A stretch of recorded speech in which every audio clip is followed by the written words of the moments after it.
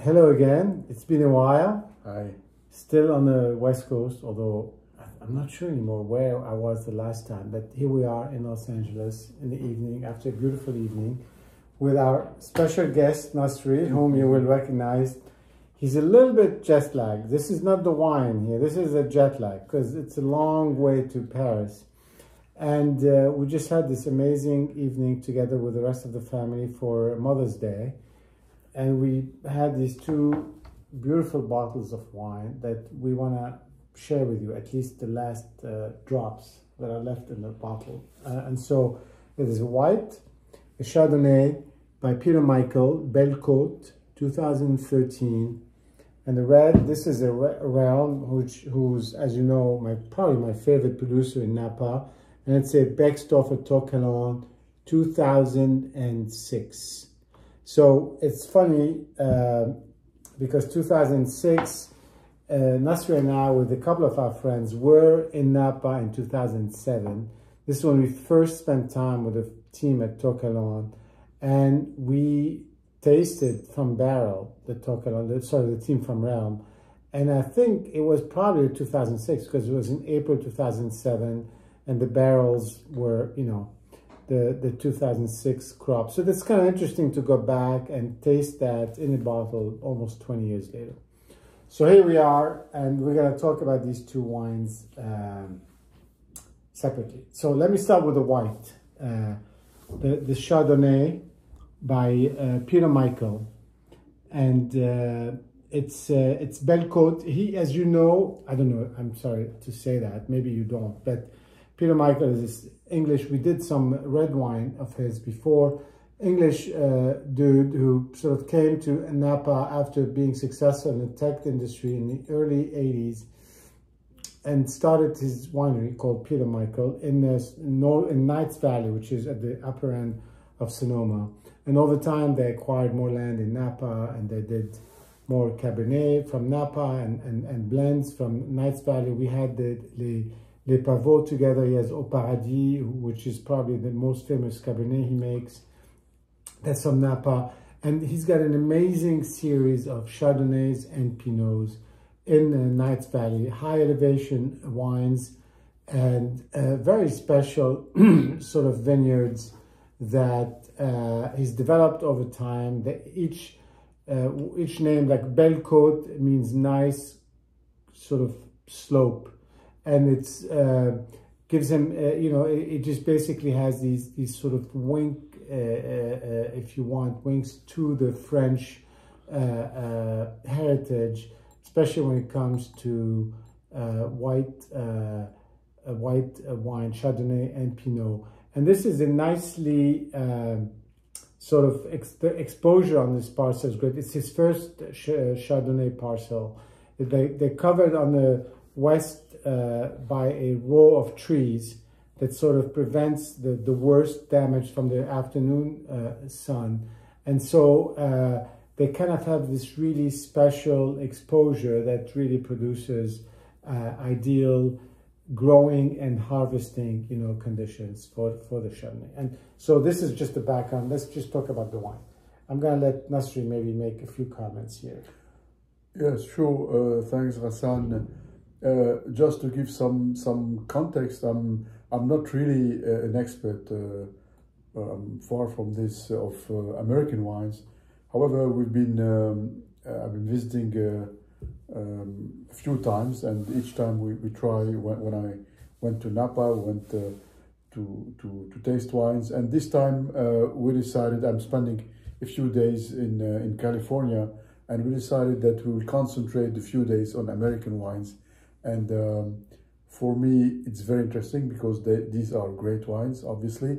And it's always interesting for me to compare, to have the difference, the different approach, the different cultural approach, I would say, not only technical, between uh, how European, I mean, like wine lover would, would taste the wine and how he would compare it with maybe the same grapes, maybe uh, uh, the same uh, cepage, but probably in, in a different way, different way, different terroirs and different way of uh, appreciating and liking the wines. And um, so now we are we had the wonderful uh, Chardonnay and um, later a Cabernet Sauvignon, and it's very interesting to to compare the Chardonnay that uh, is very uh, close to what to a Meursault, I would say, um, that you would find in Burgundy, with some slight differences, but it's striking. The first nose and the first uh, taste, uh, how close it is, uh, and then uh, later on the differences appear when you taste it and when you spend some. We're gonna get back to that because I'm yeah. gonna hold him to this so he can tell us those differences, but. But the truth is, when you first take a whiff, when you first open it, the first thing, though, what's interesting is very oxidative, just the first like 10 seconds, and then it kind of blows right off.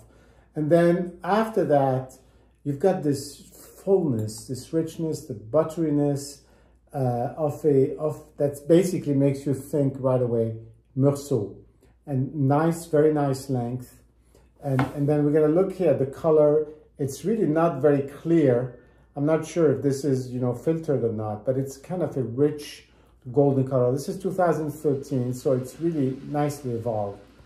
And on the nose, it's got these sort of the butter, really, I feel, but a little bit of, not, not very citrusy, a little bit more uh, maybe ripe pear, uh, riper fruits, riper white fruits, not necessarily too acidic. I think. I yes, absolutely. Yeah, I agree.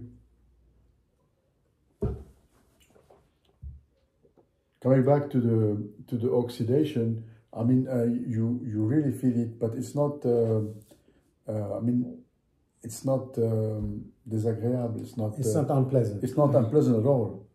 It gives it some. well, it gives it also some acidity on the front end, but yeah. the acidity doesn't really last. So it starts acidic on the front end, then at the end you've got this sort of nice cushy, it's got this cushiness, that softness to it that stays in the, on the length really of the wine. Uh, and I don't know how it compared to a Meursault. Maybe you were saying at dinner, it just doesn't have as much acidity maybe as you would like or? Well, on the nose, it's, I would say it's pretty close. Pretty close. It, it it's, it, I can still uh, feel some sweetness uh, in some way that it's a little bit uh, more uh, present than in a Meursault. Well, in a, you know, in usual, usually in a Meursault, there is some richness. It's very it's fat. Due to the, it is fat. It, it is fat. It's due to the sun or the, you know. It's the, the wood, it's the but wood. although it should also be resolved by now. It's it's really one of these Chardonnays that uh, more Burgundian maybe because the wood is not as present as some other Chardonnay in California. It could be because of the age. It could be because of the style, but it's really, it's just really very, very tasty and uh, a pleasure to drink even on its own. Now, you know, also with dinner, I think we had it with some Brussels sprouts, which was probably a mistake because it kind of made it taste more bitter. Yes. The Brussels sprouts were caramelized and too sweet. This is probably a wine you would want to have with some nice cheese, maybe some hard cheese. It would sort of blend in nicely. Uh, I would even say cheese would be even better than than fish almost because yes, of the yeah. the fatness and the roundness of it. But in any case, it's just a really nice Chardonnay, and I just wanted Nasri to be able to compare it to what he knows because he's a big fan of uh, of Burgundy Burgundy whites, and and uh, so this is for the Peter Michael. We're gonna move on to the red. Now, Realm, as you know, again, I'm saying this again. This is one of really our favorite producers. We were just there last week and we're going to have a separate video on that. Uh, and To Kalon is, to me, uh, sort of the wine that I like the most in a way, uh, uh even though there's a lot of different wines uh, that they make. And, and this goes back because that was the first wine we tasted. And I've, i think I've shared some of these pictures with the, with the people on the channel here with out of the, with, with a test tube, out of the barrel, in 2007. and To Kalon is uh, from Beckstoffer, the Beckstoffer vineyard, so Andy Beckstoffer's land. They buy fruit from the To Kalon, just a little bit of that To Kalon piece. Primarily Cabernet Sauvignon, I think there's a couple percent of Petit Verdot uh, uh, on and off. But this is sort of, from a vineyard point of view, it is the summum of Napa Valley, Valley, Napa Valley vineyards. We're not talking about the mountains. This is really the valley, the drained sediment, you know, Val, Napa Valley, the, the vineyard, if you drive there, it's right there. You drive sort of right by it. And, and these guys have made, have always succeeded in making incredible wine from the To Kalon. Back then, in the beginning, was Mike Hirby, the winemaker, who also, who's obviously the proprietor and winemaker at Relic.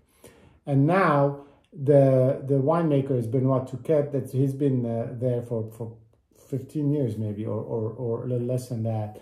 And so different winemaker, but we want to also th think about whether we see some similarities in the wines that we've had recently and in, this one.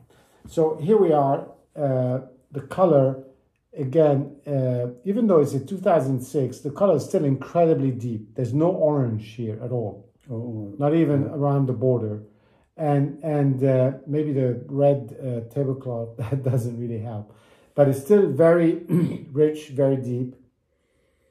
When we first opened it it had that sort of dusty bordeaux like because maybe because in bordeaux you're more used to having really old bottles of wine. So it really had this sort of bordeaux dustiness that kind of uh, disappeared right away. All the sediment was basically stuck to the cork because the bottle's been lying down for so long. So when we took the cork out, most of the sediment came out with it. You're not going to find any here, even though it's in the, we are here at the bottom of, of the bottle. The nose is just very alcoholic. It's 15% alcohol. So it's that camphor really sort of jump at you, which I find really delightful because it's not quite pure alcohol in a way. It's got this sort of flavor to it and it's it's just so pervasive. It really fills your sinuses and, and your and your nose. But then beyond that, it's got the blue and red fruit of a Cabernet. And it's just sort of the thing you feel like you want to jump right into. I don't know if you have anything to add on the nose. Uh, no, it's exactly this, like the, the camphor, the alcohol, and the and the and the you know black and red fruit, absolutely.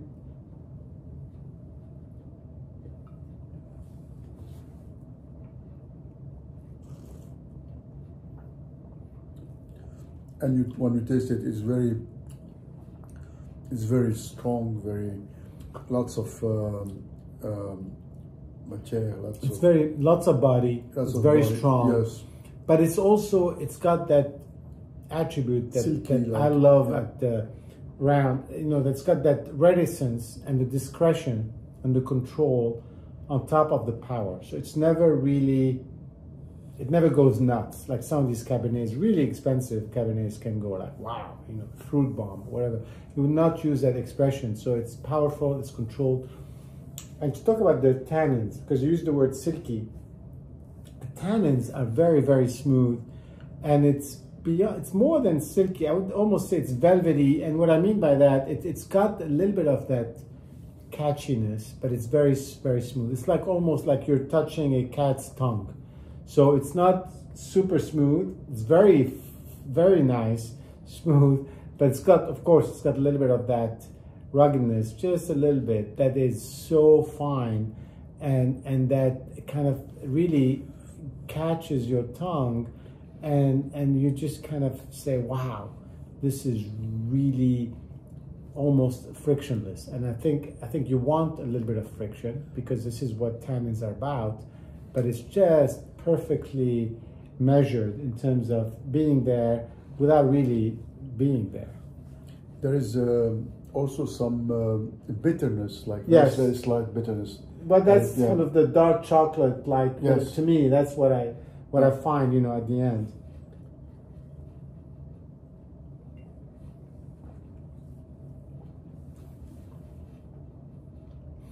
I think it's a To Kalon or maybe a Beckstoffer We've had that in the To Kalon we had together a few years back, was 2012. We made a video on that in France.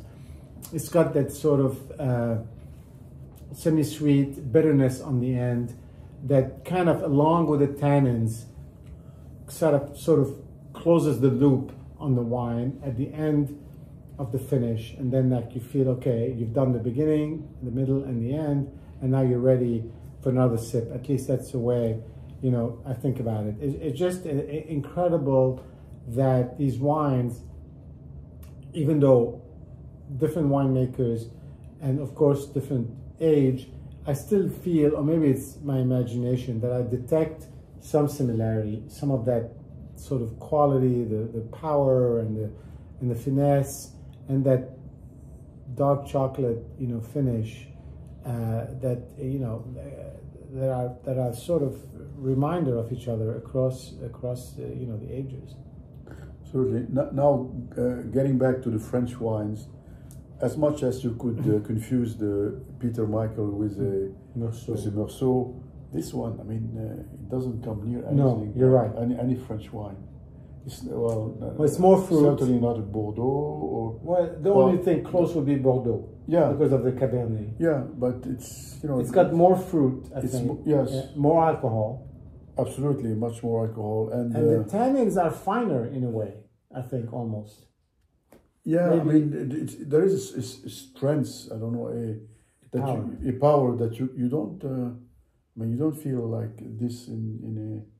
But it's not the alcohol. Is it? L'alcool. It's not the alcohol. No, it's uh, no, it's, no. It's it's, it's the, intensity. Yeah, it's the, absolutely. Yeah, I mean, uh, it's. Uh, I cannot compare it to anything. Yeah. yeah. Well, that's good. That's yeah. great because you know, obviously, we do want to have things that do taste different, and and I think comparing is tricky because you you feel you want to decide which is better, and that's really not the idea. The idea is to have a frame of reference and see if you're learning something new, if you're experiencing something new, and yeah, therefore, yeah, yeah, it's worth taste, it's new. worth trying yeah. to keep going in that direction. In any case, beautiful evening. Uh, we were happy to share this with you folks, and then uh, we had a great time, and then uh, I hope you did too, and uh, we'll see you soon. See you soon. Cheers. Cheers.